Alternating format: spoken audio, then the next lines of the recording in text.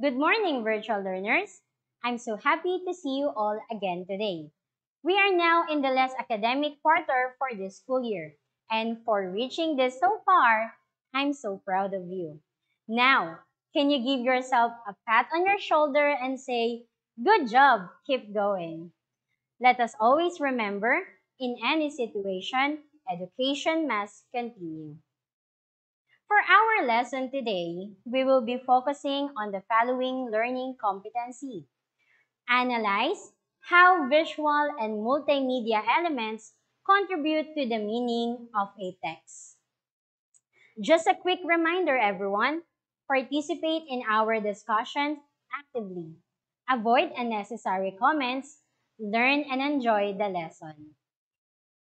Okay, let us check your attendance kindly type the word present slash your name slash the name of your school on our comment box for us to monitor the number of our virtual learners watching with us right now. Just like this. I will give you 45 seconds to do this. Timer starts now.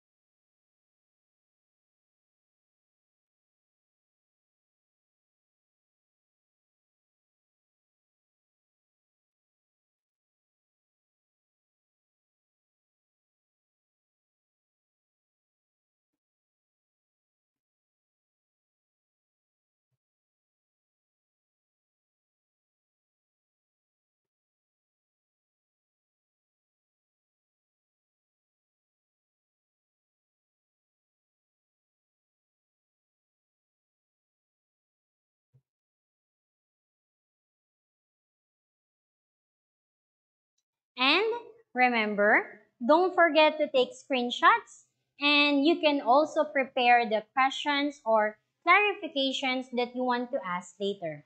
Remember to be polite and avoid unnecessary comments while watching this live streaming. Please prepare your self-learning module, paper, and ballpen too. Now, learners, I have a question for you. Do you like story? What are the considerations in choosing stories you read? Do you look first at the cover or at the title? Or do you scan the images or the pictures inside the book? Now, let me share a story. Maybe you are already familiar on this story. To make this more interesting, I have here an ebook. Let's start. The Three Little Pigs Once upon a time, there lived three little pigs. One day, they decided to leave home and build houses of their own. The first little pig thought that straw would make a good house. He built the house very quickly and he was very pleased with it. The second little pig thought that sticks would make a fine house so he decided to build his house out of woods. The third little pig thought that bricks would make a strong house. It took him a long time to build the house, but he was very pleased with it. One day, a big, bad wolf came along. He saw the first little pig in his house of straw. Little pig, little pig, let me come in. He snarled. Not by the hair of my chinny chin chin, said the little pig. Then I huff, and then I puff, and I'll blow your house down. growled the, the big bad wolf. So he huffed and he huffed and he blew the house down. The first little pig escaped and ran to join his brother in the house made of wood. But the big bad wolf followed the little pig to the house made of wood. Little pig, little pig, let me come in. He snarled. Not by the hair of my chinny chin chin, said the second little pig. Then I'll huff, and I'll puff, and I'll blow your house down. growled the big bad wolf. So he huffed and he puffed and he blew the house down. The little pig escaped and ran to join their brother in the house made of bricks. But the big bad wolf followed the pigs to the house made of bricks. Little pig, little pig, let me come in. He snarled. Not by the hair of my chinny chin chin, said the third little pig. Then I'll huff and I'll puff and I'll blow your house down. growled the big bad wolf.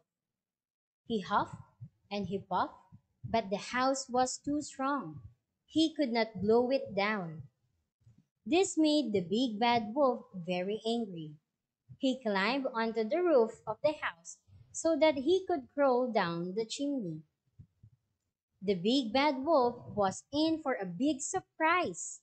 The third little pig had been cooking a big pot of stew and splash the wolf fell right into the pot.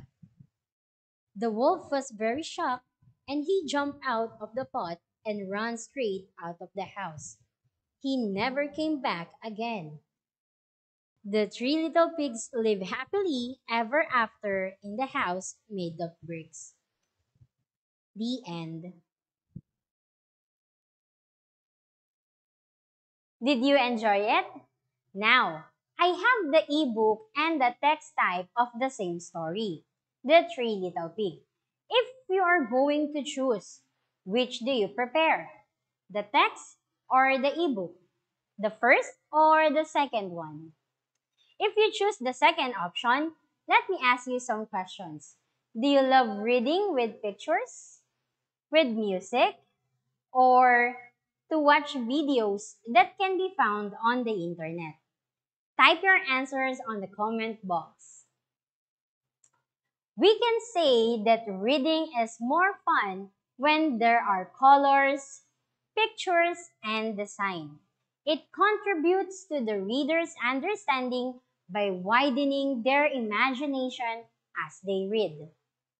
Let us talk first about visual elements. According to study.com, a visual element is any characteristic that we can see. It helps us to convert simple reading to an exciting reading where we can see or imagine what's happening in the story. Visual elements are included in the text to help the reader see what they're reading. This includes pictures, drawing, comics and cartoons, and diagrams. Next, we have multimedia elements. Multimedia elements combine many types of media, usually in be found of computers, audio players, tablets, smartphone, and other technology. These elements allow the reader to experience what they are reading through sight, sound, and sometimes even senses. The following are example of multimedia elements. Videos, audio recordings, sound effects, graphics or animation, interactive words, and images. These two elements can help us readers to analyze the meaning of the text. Here's how. Number one, to clarify the meaning of the text. Visual elements help the readers for better understanding of the story. In the story of the Three Little Pig, this illustration shows that the three little pig and their houses, we can assume that the story is about the pigs, pig's house, and wolf. This illustration also helps us to understand the story better. A video presentation or video clip can also help the viewers to understand the meaning of the text by allowing them to see the character's facial expression and the body language. Video also help us relate and connect the sequence of the story. We also have audio recordings of the characters. It can clarify the meaning of the character's word. By hearing how the lines are delivered, you can tell the character's feelings. The tone of the voice in the narration also gives overall aura or theme of the text read. Number two, communication tone. Visual and multimedia elements reflect the writer's attitude toward the text. The writer's tone gives a hint of how the writers want to portray the story.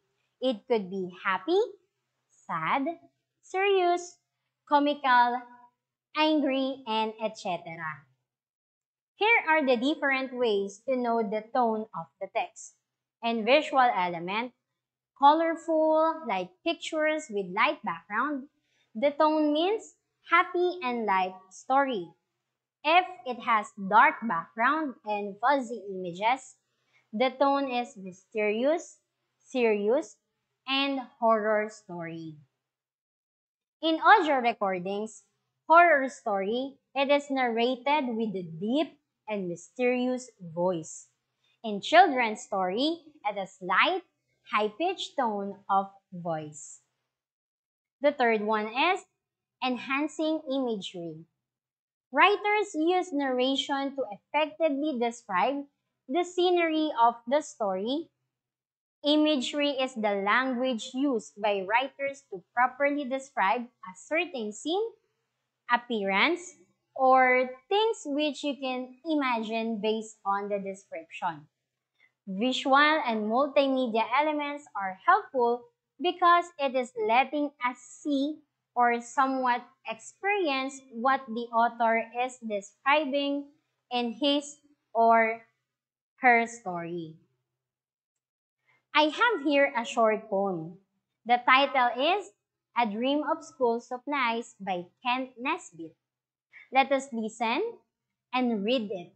Then after that, we have some questions to answer. Are you ready? A Dream of School Supplies.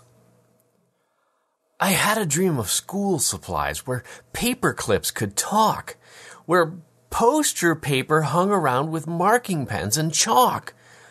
The stationery idled while the pencils madly raced. The clocks went round in circles, and the glue sticks merely paced. The binders were inseparable. They bonded with the tape, the workbooks exercised and helped the stencils stay in shape. Some calculators added to the numbers in this land. The music was provided by a singing rubber band. My dream was strange and truly cool, but this was even cooler. The dictionaries all looked up to me. I was the ruler. A Dream of School Supplies, copyright 2007 by Kenn Nesbitt, all rights reserved. From the book Revenge of the Lunch Ladies. Okay. Now, direction. Read the poem, then answer the following questions. Circle the letter of the correct answer. Number one. What is the tone of the poem? A. Embarrassed. B. Relaxed. C. Surprise. Type your answers on the comment box. The correct answer is letter C. Next, we have number two. What is the message of the poem? A. Missing school. B. Dream come true. C. Fun with school supplies.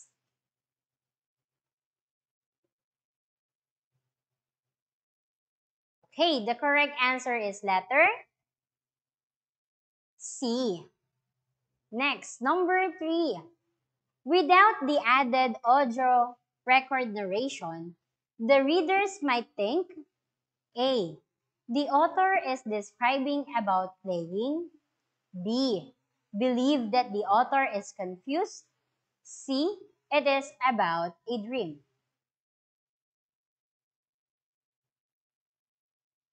The correct answer is letter A. Next, number four. If you read this poem aloud, how would you read it? A. Quiet voice. B. Modulated voice. C.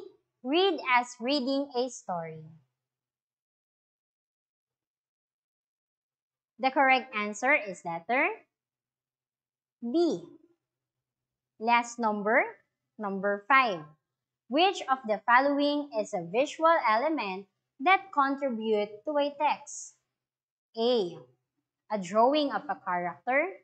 B. Background music. Or C. Audio record narration. The correct answer is letter C. Now, learners, here is a summary of what we have learned today.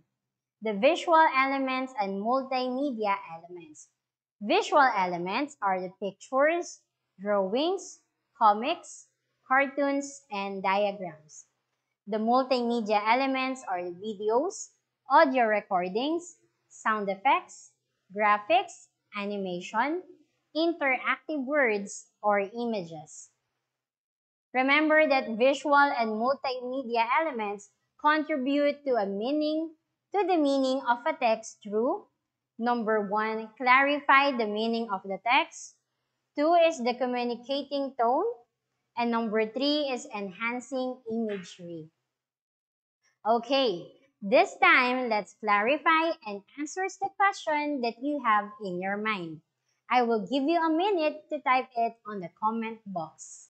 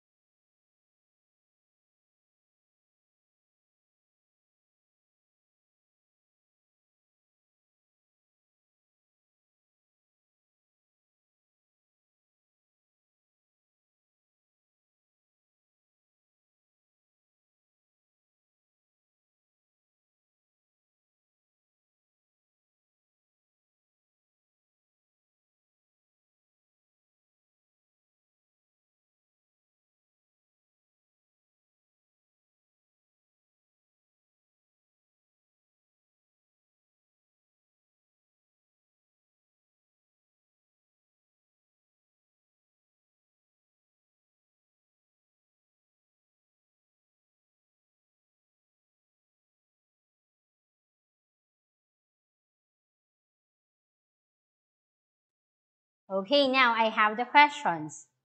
Are visual elements is necessary when reading a text?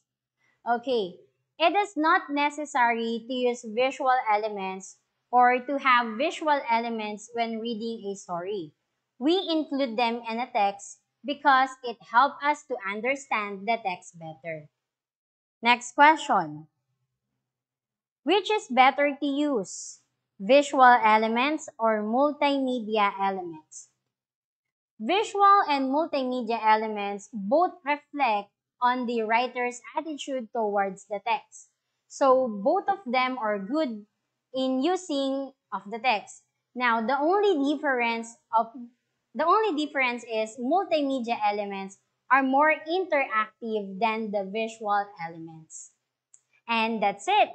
I hope you enjoy and understand our lesson for today. See you next class!